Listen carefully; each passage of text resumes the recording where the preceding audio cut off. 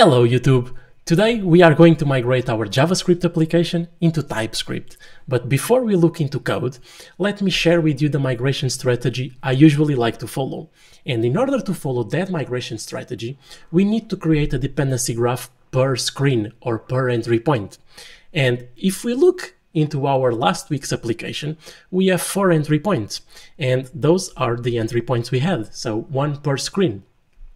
Then we need to pick one of those entry points. Let's say we pick the first one and we will get all the childs from it recursively and create then the diagram of dependencies. So how does it look like?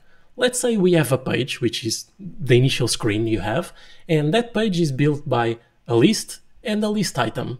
And then the list item is only using, for example, HTML tags or even a component from Material UI, for example. So in the point of view of your application, this is a leaf component. It doesn't call any other component from your application.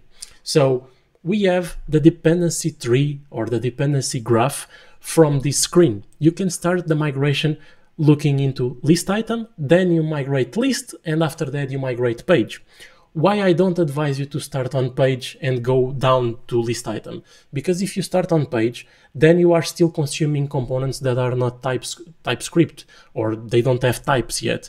So that migration will be a bit painful for you. But if you start from list item and you go up, then every single level that you go up, you start to see the benefits of having types. But it's up to you, whichever uh, way you want to go, it's okay.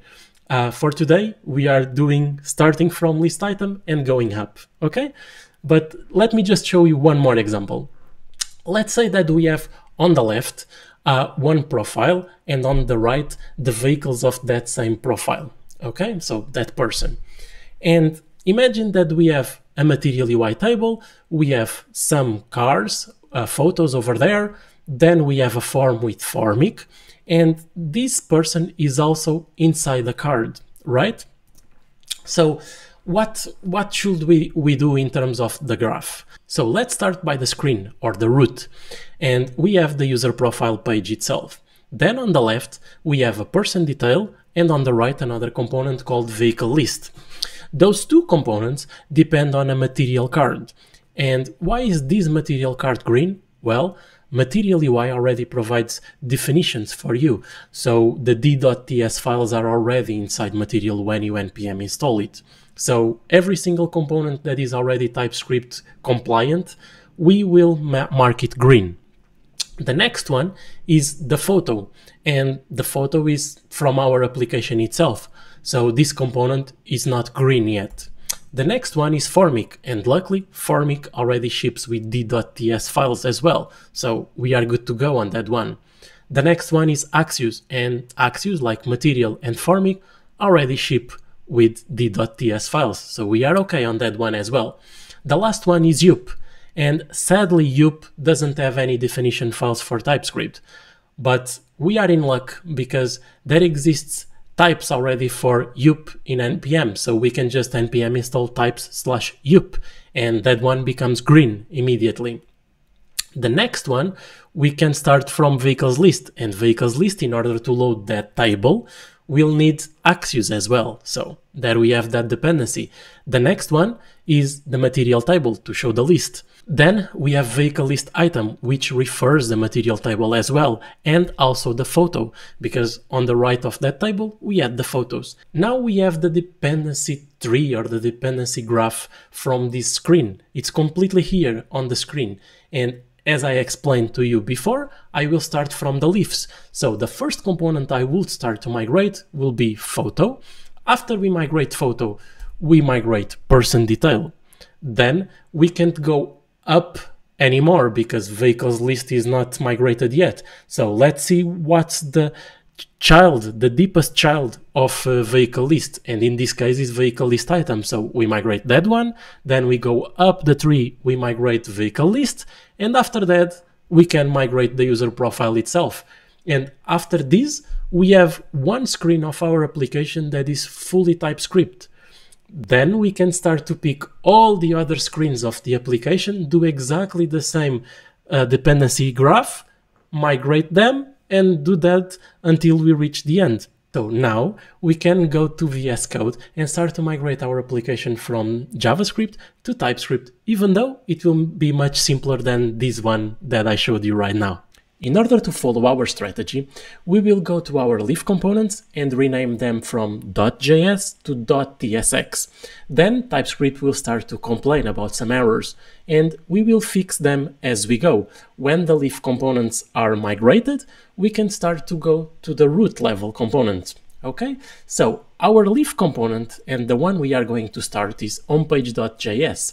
We can come here and just say homepage.js TSX. You will see that now TypeScript starts to complain because we don't have types yet. We will install them in a second. So let's close this one for now. Come to index.js and we can see that index.js is only exporting homepage.tsx. So we can just safely rename this one to tsx and the same to this one because it's only exporting the home page. So Renaming those three files is the beginning of our journey. Now, if we try to run next, next will throw some errors because the types are not installed, the ones that I said before. And if you look the messages, quite good the message from next. It says that we need to install those packages. So we can come here, copy, paste and install them. And while that one is installing, it's a good time for you to look into your dependency tree uh, where you see all the dependencies and check if any of those squares is yellow at the moment, which means that you need some typings. If you need those typings, it's now a good moment to go to npm or even to github.com slash DefinitelyTyped and check if you can find those uh, definitions. If not, probably you will have to make them yourself, but the chances of you not finding those uh, typings is quite small. So look around, go to Stack Overflow and you will find them, okay? So now that th those are installed, we can run again and this time Next.js will create a tsconfig.json for us, as you can see here in the message, okay? And this tsconfig.json is quite good. Let's just kill the server for now.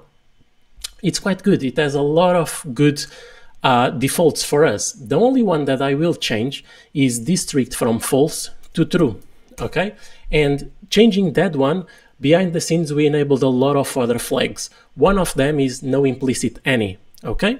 But you can go to the TypeScript website and check how many other flags this enables. It's a lot of them, okay? So TypeScript will yell at you a lot of the times, but it's something that we want when we migrate to TypeScript, right?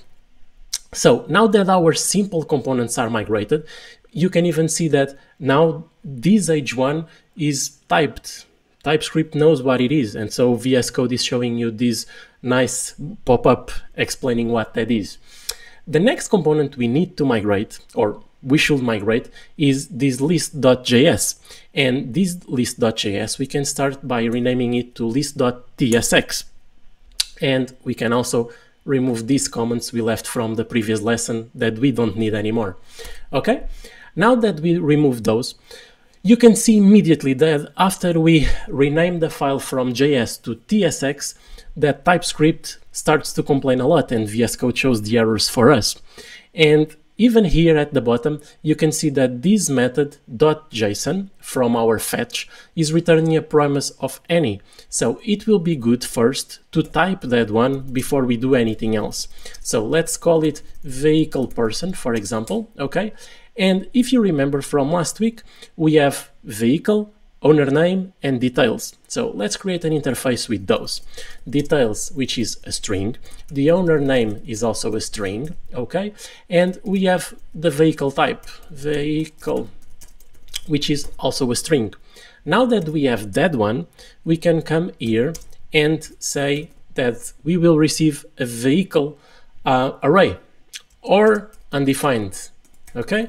Because our server can just return undefined, which is perfectly fine if they do. Okay, and we can now see hovering over here that our get initial props is returning an owner's list that can be a vehicle person array or undefined. So this is starting to get some types to us, right? Let's go at the top and in order to make this bit typed, usually the convention is to create an interface and call this interface the name of your component. In this case, we will call it list and we add props, okay? Props from properties. And the, the funny thing here is when I do this and I call it vehicle, not call, when I uh, make this of type vehicle person and pass it here, list props, okay? Now look at what happens when I have owners list, okay? It immediately knows that it's that type. So if I do this, okay, I can immediately say details, owner name and vehicle. If for some reason I mistype vehicle and I type it like that, TypeScript will immediately correct me saying, well, that property doesn't exist, Bruno, so fix it. Something's wrong. And this is really powerful when your team starts to grow and you start to have more and more developers. It's really, really powerful and helpful to everybody. It even works as kind of documentation for everybody. Okay, so this one can be undefined. So we just put that one. And this component, after we format, looks fine. Looks like we migrated this one successfully. Let's just run to make sure that everything was still working or is still working okay? Let's open our browser. And if everything went fine and we do slash oops localhost 3000 slash list okay? Let's just wait for the previous page to load. And that one let's just put list. And it should be compiling. So yeah, let's just give it a, a bit and we will go back at it in a second. So this list is still working. Everything looks like it's still working. The previous page is still working and the home page is also working. So the only page that we need to migrate now is our details page, which is, for example, slash airplane slash Bill Gates. And this page, even though it will work, it's still done in normal JavaScript. So let's just go here and rename this person.js to person.tsx, okay? And renaming that probably next will even fail, so let's just kill it. Um, we can adopt exactly the same thing we did before. And if you remember, we are using exactly the same interface for data. So we can even go here create a new folder called, for example, API. Oops, I already had that folder over here. New file and call it vehicleperson.ts. Okay, and now we export this one. We can import it in the list. Okay, and going to our person.tsx, we can do exactly what we did before. So interface and now person, which is the name of our component, plus props, okay? And we have owner list of vehicle person, which is an array or undefined. If you don't want to type this or undefined all the time, okay, you can just put this question mark over here and it's exactly the same thing, okay? so I'm sometimes putting slash undefined, other times I use the question mark, so but they are exactly the same thing, okay? So over here, we just need to pass person props, okay? And doesn't exist on person props. Why? Ah, okay. Another good thing about TypeScript. We are calling it owner's list and here we only have owner list. So it's in reality owner's list. And now the warning disappears, which is quite good. So if you see here, even our owners now, it has a proper type. It has a type of vehicle person array or undefined, okay? And it's coming from this question mark. So as you can see, it's propagating well. So the propagation is correct. So let's just copy this one and we will do the same thing in this JSON, okay? So let's do or undefined. And because we are doing this over here and on get initial props, we can do exactly the same thing over here. So we do two in one. so now the next error from this component is telling us that, oh, this object can be undefined. And it's actually true, this object can be undefined. So we found a bug just by using TypeScript on itself. The same for this one. So it can be undefined, that array. And okay, so we fix it. And so as you can see, we are already solving a lot of bugs just because we are using TypeScript, right? The next uh, problem that we can fix is this context. And this context comes from next pages or page, page context, okay? And if you see here, now we can even see everything that exists inside that context, something that before, if you remember, I had to open the next documentation in order to see. So just not having to open the next documentation and search for what I want and having it immediately here in VS Code, you can imagine that is a big productivity boost for you and for the colleagues in your team.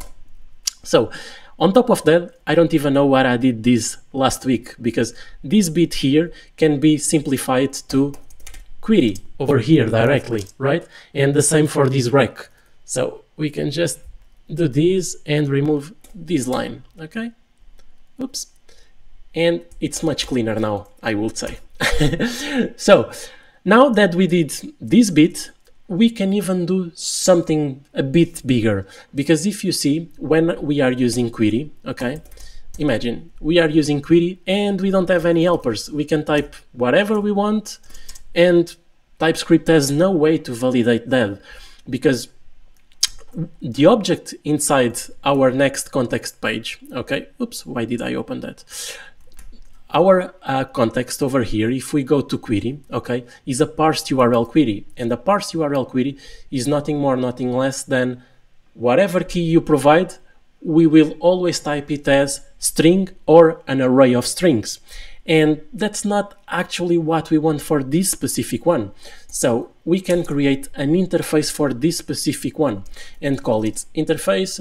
Uh, I'm really bad with naming, so I will call it my next page context. Okay. Uh, extends next page context. Okay. Next page context. And we will override the query by itself. And in the query, we can have person, which is just a string, and we will have vehicle, which is also just a string, okay?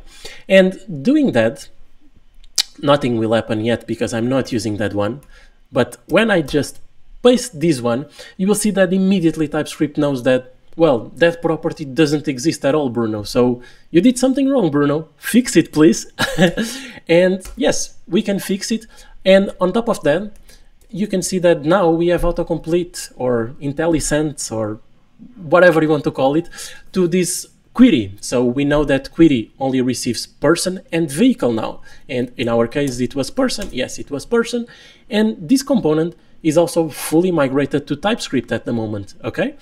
Now let's run the application and see if our newly migrated component is also working like the previous two um, or the previous three, sorry, uh, that we created. And so, ooh, I opened so many pages, Bruno, so many clicks. so when that one uh, loads, and it will take probably a few seconds for it to load, we should see the list uh, of um, vehicles and uh, people and clicking in one of those we should navigate to the next page and everything should be just there right so I will just fast forward this for you Ooh. Okay.